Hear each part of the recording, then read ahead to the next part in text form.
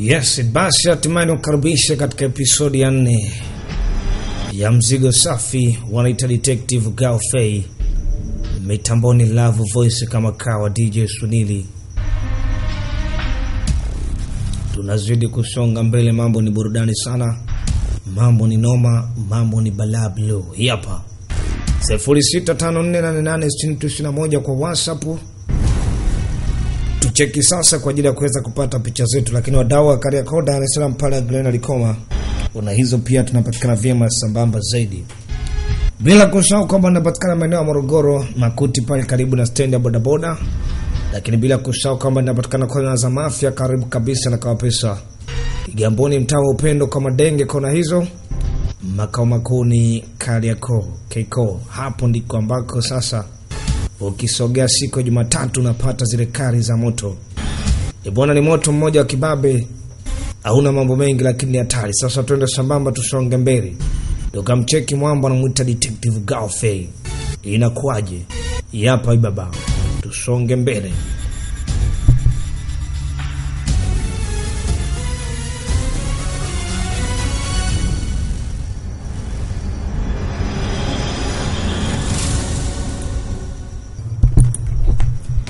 Tunaanza hapa baba. Wakati huo waheshimiwa wanatoka. Sasa hivi askari mavi ambavyo viko maeneo haya vikaanza kusanda ba Hii miendo hii, hem, tulia.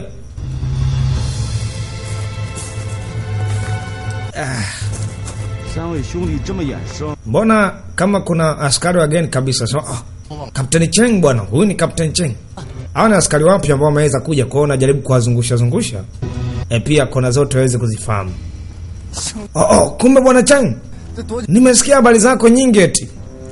Wakajidai kwamba vile ni watu ambao wao ni wageni. Nasema ah, tumekuja ndo kwanza hapa, tumetoka katika kambi ya kumi na tatu. Kwa hiyo tumekuja hapa, tumehamishiwa hapa kwa ajili ya eh, kazi zaidi.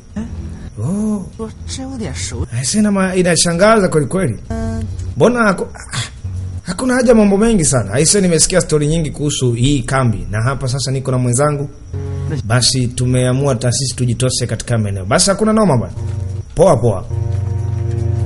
Wauni wanataka kusanuka, wakazibwa mdomo taratibu namna hii. Anasema ni kazi simpo sana. Wakati huo mtoto wa kike yuko hapa, huyu binti wanamwita Esheng Bing Akicheki kwa mbele yake kuna lamani, lakini kuna vijana wako wengi sana katika maeneo, manake ulinzi uko imara. Yeye amekuja hapa kwa ajili ya process maalum za kumfuata mtu mmoja anamwita Liu Yuan, ambaye ana vitu vya msingi mno. kwao amekuja kumfuata huyo mtu.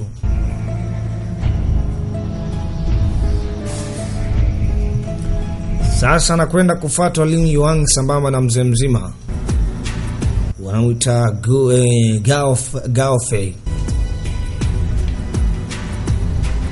Yes,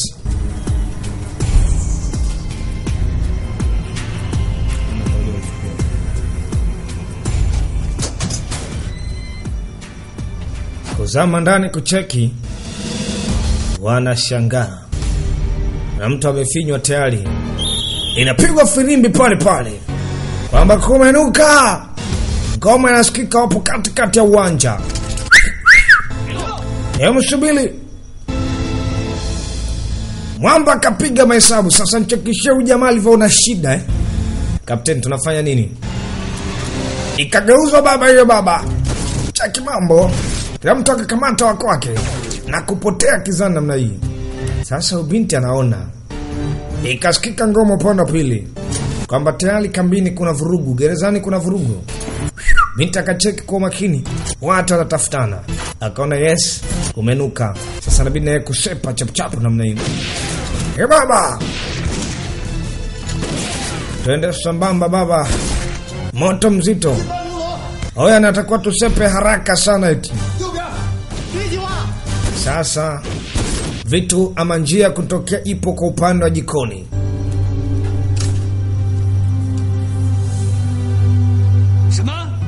Nini? Inawezekana vipi? Taarifa ya kiongozi. Uvamizi wa eh, Liu Yuan ameweza kutoroka.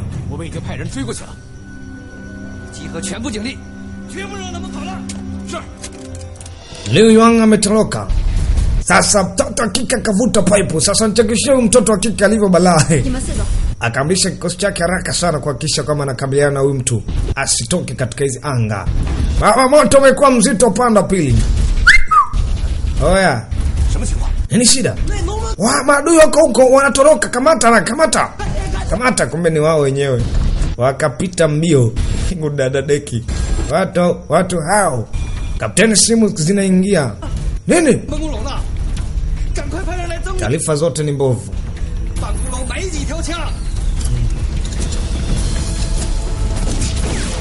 Yes. Hapo sasa. e, pumbavu. Ala. Wanaojileta kimbelembele wanapigwa mkono. Zimu namna hii. Tunasepa. si utulize umbea basi. Yes. Wanaume wanasonga mbele. Na ngoma zinapiga hapo katika dirisha. Wamejulikana wapi wapo. Sasa ni mkamate mkamate. Yes, yes, yes, yes, yes. Fika sehemu kafungwa mlango namna hii. Wanaume akafika pale. Vunja vunja na wewe. Sukuma. Kudededeki. Watu hao wanapotea. Askari wako wengi kinyama. Ah, vipi? Ah, paipu ya hapa. Ah, tulia hapo hapo. Jamaa akashika pipe, hawamwamini huyu mtu, wanamwita Liu Yuan, hawamwamini kwa sababu amemtoa tu katika harakati za kutoka. asema wanataka kukamata nini? Tulia. Ah. Oh, hapana, hawezi kukamata silaha, eh, manake atapigana vita akamata silaha. Ghafla kaokolewa mtu anatakiwa kuweza kufa.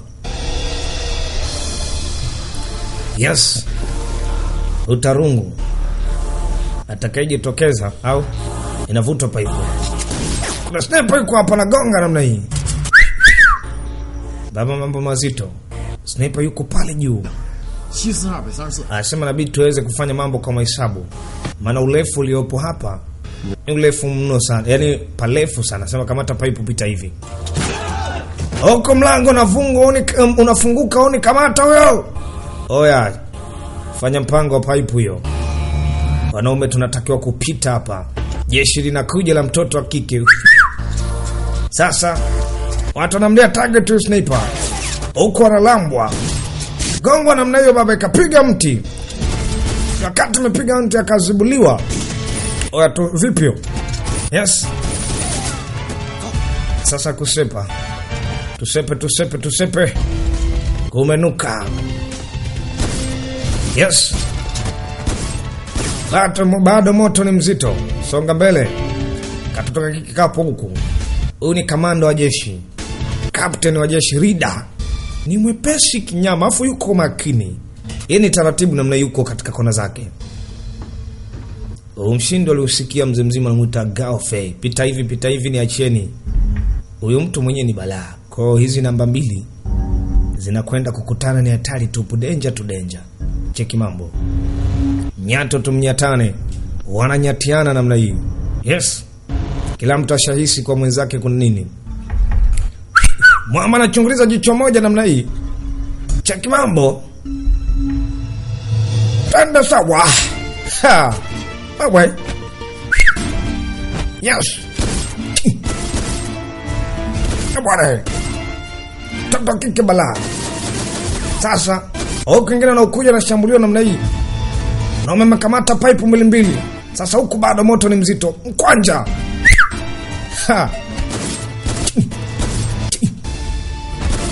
hapo vipi? Ngoma imeisha. Kuna ngoma imeisha hapa. Wapi ipo? Vipi? Unamaanisha nini kuhusu hili? Asema nimesha tushakubaliana kwamba wewe unafanya mikataba yako na mi nafanya ya kwangu. Asema hapana. Oh kumbe wanafahamiana bana. Naisha kwambia kwamba huwezi kushambuliana na mimi, jitenge, jiweke mbali, haiwezekani. Nipo katika kazi yangu mimi. Okay, sawa. Una faida gani unapomaliza kazi yako? Upushani.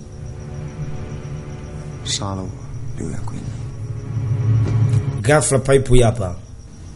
Watu wanafahamiana na wanasemekana walishai kuzungumza, anasema ah, sasa hamna muda wa kuweza kubaki, inabidi sisi tuweze kuondoka na tutaondoka na wewe, wewe ndo pekee utatupa nafasi ya kuondoka. Pumbavu! Wakamteka mtoto wa kike, jamaa ameshika pipe mbili, hawamwamini huyu, wanamwita Liu Yuan. Wamemkutaga tuku gerezani japokuwa amempa nafasi ya kuweza kumsaidia, lakini bado ana wasiwasi. Kuna kitu kikubwa sana ambacho anacho. Jeshi linakuja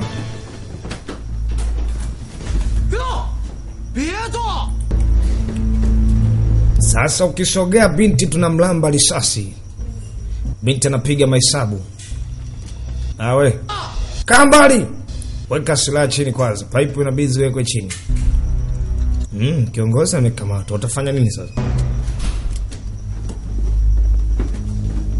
Kamatwa binti, mtoto wa kike anapiga mahesabu kirahisi namna hii, anasoma dulia baba baba. Na askari alikuwa anatokea upande wa pili. Kamata paipu, kafunga mlango, wanaume akapotea. Kamata o! Yes. Wakajifungia katika chumba kimoja huko, Wameka mzigo mmoja mzito hapo mlangoni. Waone walipiga mateke, piga mateke, udadadeki.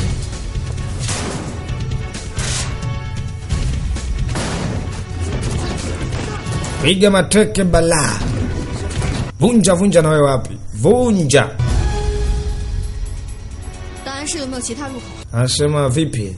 Ndo ameingilia hapo sasa, mnafanya nini sasa? Hajaribu kuweza kuvunja mbavu kabisa. Sasa nabidi upita sehemu nyingine, ikiwa kama ni ngumu, wengine wapita sehemu nyingine. Sasa wengine wakaangaika kuvunja, wakatoa upande wa pili, Chalia akawapitisha katika kota moja huku ana vitu vyake maalum. Kumbe，ameandaa, anasema msijali, tunaweza kupita hapo. Kumbe ameandaa vitu maalum. Na vipi kuhusu mlinzi? Msijali, kuhusu mlinzi yuko poa. Mlinzi ameweka target kupiga risasi, imerudi kwake mwenyewe, ikambutua kwenye uso, butua jicho. Udadadeki binti akaja upande wa pili, akasoma lamani hapa, nataka mlango wa kuweza kutokea hapa. Nyeupi, mpe lamani vizuri ambaye unaona njia hii hapa, hii inatokea hapa, unatokea upande wa jikoni, kutokea jikoni hii ndo kuna barabara kuu ya kutokea hapa na maeneo haya kuna mabomu. Ukipita hapa kwenye na pikipiki, labda unaweza kukuta na shambulio, lakini ukipita hapa ramani, anaonyesha ramani. Binti no. alishaisoma ramani kitambo tu, takumkamata kuku wake. Upande wa pili, wanaume wanateleza namna hiyo, tangulia.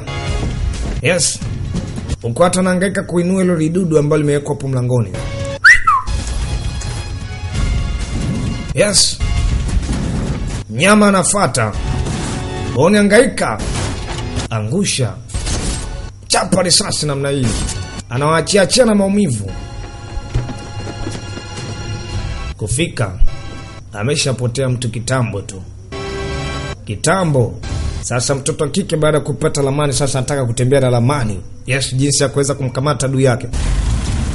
Yes, anazunguruka upande wa pili, upande wa jikoni. Yes, fika mpaka huku upande wa pili. Huku ndiko ambako ataweza kutokea. Hicho kinafahamika ni kutokana na jinsi inavyoweza kumwonyesha huyu wa ni balaa. Sasa unamwita Sheng Bin, pita namna hii katika hizo kota, lazima amnase kuku wake. Wakaja mpaka upande wa jikoni. Jikoni huku ndo kuna milango ya asili. Yes, anakwendwa kutegwa hapa adui anakamatika hapa. Wakati wa kweli, wanaume wanakuja, ukitokeza tu huna msaada. Oya, njia ndo hiyo, mlango ndo hapo unafunguliwa. Ngoma nakwenda kufunguliwa baba eh? Hapo sasa Eura. Eh. Kumbe ilikuwa ni milango tofauti, huku napita milango mingine. Walimkamata mpuuzi mwingine tu, alikuwa yuko upande wa jikoni huku, wao kumbe alipita milango ama chemba nyingine, wakafunga kumsubiri muhusika. Wanajua lazima muhusika atakuja hapa, muhusika atakuja hapa, hapa ndo kwake.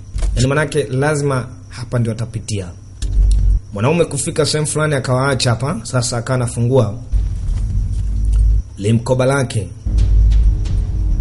ilo limkoba ndo likaanza kutolewa zana fulani. Kibobo kibo kibo.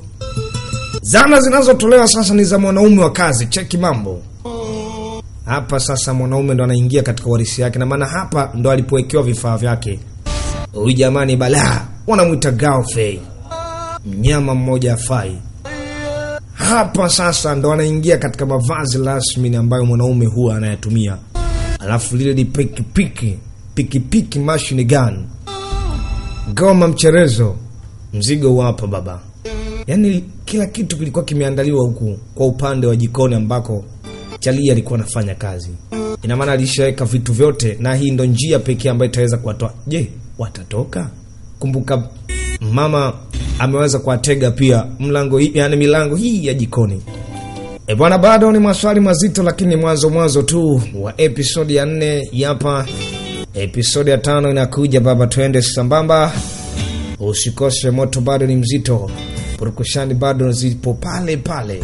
Uko na love voice kipenzi cha wana. Mashina naita detective Gaofe. asante sana. Welcome again